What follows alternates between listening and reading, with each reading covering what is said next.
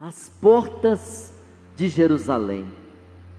Jerusalém representa a minha vida e a sua vida, porque no Antigo Testamento aquele lugar era separado para a habitação de Deus. Mas hoje, o Espírito Santo de Deus habita na minha vida e na sua vida. Você crê nisso? Amém? Ele habita em nós.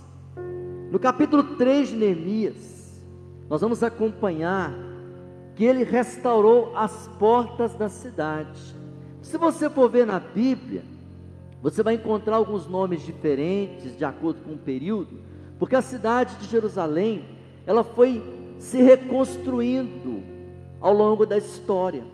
Ela foi destruída 16 vezes e reconstruída 16 vezes. Então, dependendo da época, são feitas novas portas. Hoje tem oito portas em Jerusalém. Aqui no texto de Neemias 3, você vai ver dez portas na cidade de Jerusalém. Mas em outros textos da Bíblia você também vai encontrar, porque são outros momentos. Então as muralhas, elas também foram crescendo, a cidade foi aumentando. Então por isso você vai ver uma diferenciação. Mas aqui no capítulo 3, Neemias listou as portas em ordem. E essas portas têm uma relação com a nossa vida. O versículo 1 fala da primeira porta que foi restaurada, que é a porta das ovelhas. Neemias 3, 1. Então o sumo sacerdote Eliasibe se levantou com seus irmãos, os sacerdotes, e reconstruiu o portão das ovelhas. Eles o consagraram e colocaram os portões no seu lugar e continuaram a reconstrução até a torre do Sem, a torre de Ananel.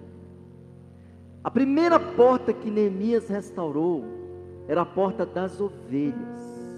Era uma porta pequena, porque foi feita para a entrada das ovelhas que vinham do campo, mas era uma das portas mais próximas do templo. E essa porta ela foi consagrada, a única que foi consagrada. Por quê? Ela representa a minha vida, a sua vida, como ovelha. Quando nós entramos na presença do Senhor, você entra como ovelha, como servo a serva do Senhor, ela representa a consagração, a sua vida espiritual. Essa foi a única consagrada, porque ela era o caminho para entrar ao templo, o lugar santo. Então Neemias restaurou essa porta. As portas têm a ver com as nossas entradas, as nossas direções, aquilo que entra na sua vida e o destino que você toma. A primeira porta mostra que nós devemos ser como ovelhas e que nós devemos consagrar nossa vida para entrar no templo e na casa do Senhor. Quando essa porta ela é destruída, a vida espiritual da pessoa, ele não vive como ovelha. Tem gente que é como bode da cabeçada. A gente pode diferenciar ovelha de bode no nosso rebanho. Bode da cabeçada, da coisa cheira mal. Ovelha não. Ovelha mansa. Ovelha escuta o pastor ela obedece. Já o bode vive batendo cabeça como porcaria. Já viu? Cheira mal, faz sujeira, quebra tudo. E nós somos ovelhas do Senhor. E quando nós restauramos essa porta, significa a entrada do templo, da vida de oração. Por que, que tem gente que não consegue orar, não consegue jejuar, não consegue ler a palavra? Porque essa entrada foi fechada, foi entulhada. O diabo joga entulho. Quer ver quantos entulhos você vê na TV, na internet? Coisa que é entulho nos seus olhos, nos seus ouvidos. E aí, quando você vai orar, não sai nada. Vai cantar, não sai nada. Não flui. Você não consegue ler a palavra, não entendo nada. Por quê? Tem um entulho. Então ele restaurou essa porta das ovelhas ensinando o que é o caminho para a casa de Deus, o caminho para a igreja. Tem gente que tenta vir na igreja. Você pode falar milhões de vezes: eu vou, pastor, eu vou. Tem culto para tudo quanto é gosto, tem igreja para tudo quanto é tipo, e a pessoa não consegue ir. Parece que ela está presa. Parece que essa porta foi derrubada, foi entulhada. Depois Neemias restaura a segunda porta, versículo 3, Neemias 3, 3. Os filhos de Asenaá reconstruíram o portão dos peixes, colocaram as vigas e os portões nos seus lugares com seus ferrolhos e as trancas. Portas bem feitas, com ferrolhos e trancas, vigas, a porta dos peixes. Era uma porta depois da porta das ovelhas, onde que os comerciantes traziam peixes para vender, para negociar. E ali então era uma feira, era um comércio. E aí ela diz respeito aos nossos negócios, aos nossos bens materiais. Essa porta era muito importante, porque era por essa porta que entrava o sustento para dentro de Jerusalém. Entrava o mantimento para as famílias, mas também era uma porta que significava a questão da justiça, da honestidade, de um povo correto, de um povo santo, abençoado por Deus. Era uma porta que as pessoas assim ali buscavam o seu alimento e agradeciam a Deus pelo pão de cada dia. Você já fez isso? Chegar com o supermercado, as compras, colocar assim na sua casa. Agora a gente tem o ritual de limpar as compras, não é isso? Mas você fazer uma oração, Senhor, não importa quem que fez, quem colocou a mão, quem carregou, não importa o que se passou, de onde veio agora, o que importa é que o que entrou na minha casa agora é santo e abençoado por Deus.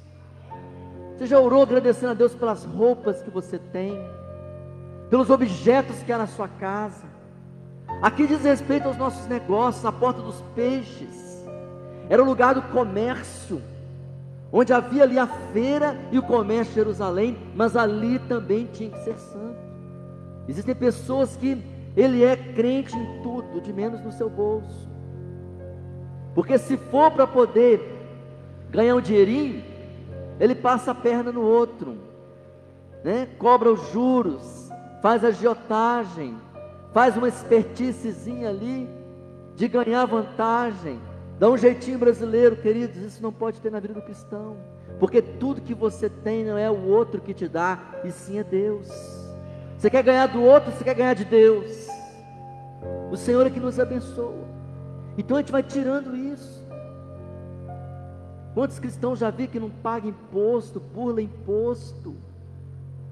As pessoas né, são desonestas nos seus negócios. Compra e não paga.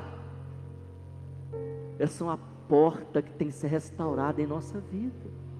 Quer que Jesus te abençoe? Restaura essa porta. A porta dos peixes significa a vida material, os negócios, a vida comercial. Versículo 6, Neemias 3, 6.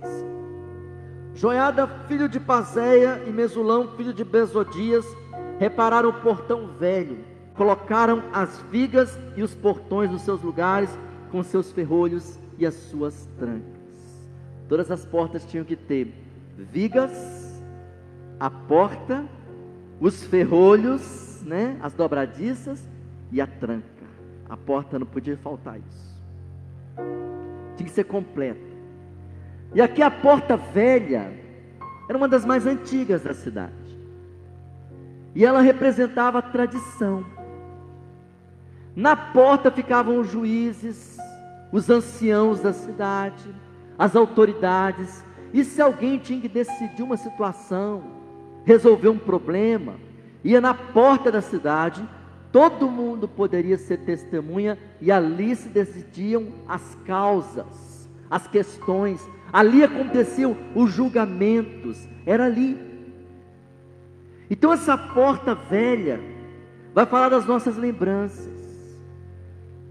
Porque às vezes, queridos, você tem a sua mente até mesmo bloqueada. Eu já vi pessoas que não conseguem se lembrar de fatos, períodos da vida, fases, porque parece que veio ali um bloqueio e fechou aquela porta. Parece que foi um trauma, um complexo, e as memórias foram prejudicadas. Mas o Senhor quer sarar as nossas lembranças, Ele quer sarar as nossas memórias, Ele quer sarar os seus pensamentos, porque o seu pensamento tem que ser direcionado por Deus. Quando as pessoas têm a sua memória, a sua mente viciada no pecado, no mundo, só pensa coisa errada, só pensa o pior. Já viu a pessoa que é pessimista? Ela está só reproduzindo coisa ruim. E aqui aquela porta velha também era um lugar onde eles lembravam as histórias do povo de Deus, os ensinamentos. Era uma porta que representava a tradição. As nossas memórias também precisam ser cuidadas. Os seus pensamentos também têm que ser cuidados. Sabe uma, uma metáfora que eu gosto de usar com relação à mente? É que você não pode proibir os passarinhos de voar em cima da sua cabeça. Você pode proibir? Não pode. Passarinho voa. Mas você pode proibir eles de vir aqui fazer um ninho. Se vier um passarinho trouxer um galho, eu tiro. Trouxer outro, eu tiro. Você vai deixar um passarinho fazer um ninho na sua cabeça? Ninguém deixa. Da mesma forma são os pensamentos. Pode passar pensamento, tudo, tudo quanto é jeito. Mas passa e vai embora. Fazer ninho você não pode achar. Então o Senhor quer sarar as suas memórias, as suas lembranças, a porta velha. Neemias 3, 13. Anum e os moradores de Zanoa repararam o portão do vale. Eles o reconstruíram, colocaram os portões no seu lugar e os seus ferrolhos e as trancas e ainda consertaram 500 metros de muralha até o portão do monturo. Aqui quando fala da porta do vale, era uma porta que ela dava direto para um lugar muito profundo, chamado Vale de Rinom. O Vale de Rinom era um lugar obscuro. E a palavra Rinom significa inferno. Era um lugar que as pessoas tinham medo de passar. E é por isso que quando fala lá no Salmo 23, ainda que eu ande pelo vale da sombra da morte, mas tinha uma porta do vale. Porque muitas vezes, queridos, na vida cristã, eu e você passamos pelo vale. Mas eu quero dizer para você, meu irmão, minha irmã, sabe por que, que tem uma porta no vale? Porque se tiver alguém no vale, ele vai olhar e vai ver assim: tem uma saída. Aqueles que passavam pelo vale, olhavam e viam uma saída, ou na verdade, uma entrada para Jerusalém. A porta dos vales representa as tribulações, as lutas, que passamos em nossa vida, como naquele vale que era encharcado, as pessoas atolavam, era um lugar perigoso, escuro, sombrio. E muitas vezes nós passamos a nossa vida por vales, mas o Senhor está falando para você que há uma porta no vale, e essa porta é Jesus. Ele tira e você sai do vale e você entra na cidade santa. Era muito importante ter aquela porta, para que os viajantes, qualquer pessoa que estivesse naquele vale, pudesse entrar na cidade santa. Então, se você está numa situação de muita luta, saiba que tem uma porta para você, e você pode entrar. Neemias 3, versículo 14. O portão do monturo foi reparado por Malquias, filho de Recabe, governador do distrito de Bet Aquerem. Ele o reconstruiu, colocou os portões no seu lugar, com seus ferrolhos e as suas trancas. Havia também um outro lugar depois do vale, que era destinado ao lixo. Uma diferença da cidade de Jerusalém é que ela era uma cidade limpa. Dentro da cidade não tinha sujeira. Eles tinham um lugar onde eles levavam todo o lixo. Ali eles queimavam ou enterravam e eles cuidavam do seu lixo. E durante toda a história, muitas cidades do mundo foram atacadas por epidemias, por pragas, por doenças, porque o lixo ficava dentro da cidade. Já Jerusalém não. O lixo tinha que ficar do lado de fora.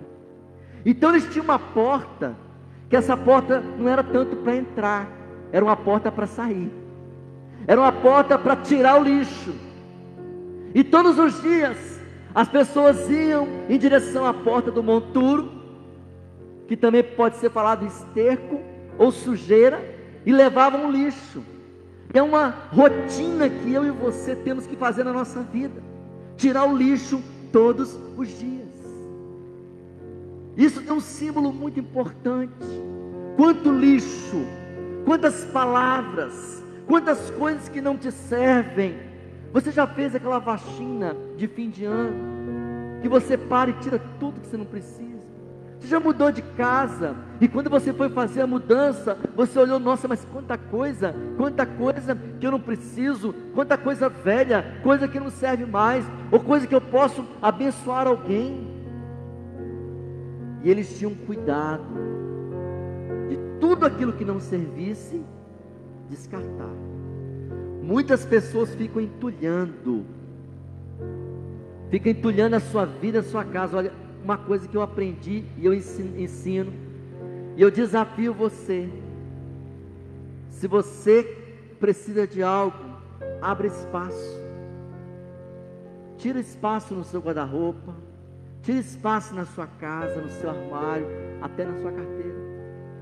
É a porta do monturo, a porta do esterco para tirar a sujeira. Versículo 15, Neemias 3,15.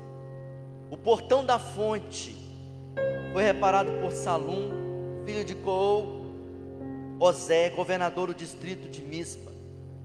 Ele o reconstruiu, fez uma cobertura, colocou os portões no seu lugar, com seus ferrolhos e trancas. Também reconstruiu a muralha do tanque de Selá, junto ao jardim do rei, até os degraus que descem da cidade de Davi. A porta da fonte, queridos, ela direcionava as pessoas para buscar água. Naquele tempo não tinha água encanada, não tinha caixas d'água nas casas, não tinha fornecimento. Todos os dias, alguém da casa tinha que ir lá na porta da fonte buscar água na fonte de Gion. Eu já estive lá. É tremendo. No alto de Jerusalém, debaixo da cidade, corre uma fonte. E aí ela foi toda protegida, e ela foi aqui restaurada, porque eles cobriram essa fonte para os inimigos não verem. Os inimigos olhavam e viam só pedra, mas lá tem uma fonte. E assim a nossa fonte tem que ser restaurada. A fonte de buscar o Senhor, a fonte do jejum, a fonte das suas energias, da sua força. Quantas vezes, queridos, eu vejo pessoas que têm dado água para o inimigo beber. Ezequias falou assim: não, vamos tampar essa fonte, porque senão os inimigos vêm e vão beber da nossa água. Vamos cobrir ela, vamos fazer tudo protegido. E era perto dessa porta chamada da fonte. E todos os dias, queridos, eles iam buscar água. Isso significa que você e eu, todos os dias, precisamos buscar a presença de Deus. Depois do versículo 26, Neemias 3, 26. E os servos do templo que moravam em Ofel fizeram os reparos até a frente do portão das águas, na direção leste, até a torre alta. Caminhando ali, depois da porta da fonte, tinha a porta das águas. Por quê? Porque tinha o tanque de Siloé. Era um lugar que eles juntavam águas. E se você for continuar lendo, lá na frente essa mesma porta é chamada de porta de prosperidade, ou porta de Efraim. Lá no capítulo 8, versículo 16, no capítulo 12, versículo 39, ela é chamada de porta da abundância. Eles iam na fonte, mas a fonte ela era protegida, ninguém via a fonte. De onde que vem tanta água? Eles só viam um muro. O muro tampava a fonte, e assim é até hoje. E de repente chegava num grande tanque de Siloé. E aí sim tinha a porta das águas. Só que os inimigos não sabiam onde é a fonte. E aquela porta representava essa prosperidade, essa bênção do Senhor, mas também representava a palavra. Sabe por quê? Foi no portão das águas que Neemias leu para o povo as Escrituras, no capítulo 8, versículo 1 a 3. Neemias chamou o povo no portão das águas, perto do tanque de Soé, perto de onde o povo ia beber água, as pessoas iam buscar Vamos ouvir a palavra de Deus agora. E o povo teve que receber a água da palavra. Porque a palavra de Deus é como água que traz refrigério, que nos satisfaz e que nos limpa. Continuando, versículo 28. Para cima do portão dos cavalos, os sacerdotes fizeram os reparos, cada um em frente da sua casa. O portão dos cavalos era onde que o exército vinha com a sua cavalaria, alimentava, buscava água, já era perto da porta das águas, dava água para os animais beberem, e ali o exército se organizava para sair novamente para a batalha. E é isso que significa o portão dos cavalos: batalhas, lutas. Existem lutas na minha vida e na sua vida que você não pode fugir. Você tem que ir naquela porta. Você tem que ir lutar. Dia após dia tem uma luta que você tem que enfrentar. E essa porta, o Senhor, Ele permite. Mas sabe por quê? Porque existe luta, porque Deus quer te dar vitória. O portão dos cavalos são as batalhas. Neemias 3:29. Depois deles, Zadok, filho de Imer, reparou em frente da sua casa, depois deles Semaías, filho de Secanias, guarda do portão leste, reparou o trecho seguinte. Esse portão leste ou portão oriental é o portão que Jesus entrou quando entrou em Jerusalém. Foi por ali que ele passou no burrinho. Só que esse portão hoje, ele é fechado. Diz a Bíblia em Ezequiel 44, 2, que o Messias entraria naquela porta e ela seria fechada, ninguém mais entraria. E hoje, quando você vê os muros de Jerusalém, você vai ver lá uma porta fechada. Foi por ali que Jesus entrou. E aquela porta se fechou. E aqui, queridos, essa palavra fala sobre a profecia. Existem profecias sobre a minha vida e sobre a sua vida. E essa porta o Senhor Deus quer manter aberta, restaurada. Talvez o Senhor mandou palavras para mim, para você, mas você fechou essa porta. Você quebrou essa porta. Você entulhou essa porta. Mas depois que você recebe a profecia, você deve fechá-la, guardá-la, como aquela porta foi fechada após o cumprimento da profecia. Tem coisas que você tem que ser você e Deus, com portas fechadas. A última porta, Neemias 3, 31. Depois dele, Malquias, filho de Orives, fez reparos até a casa dos servos do templo e dos mercadores, em frente ao portão da guarda, até o terraço da esquina.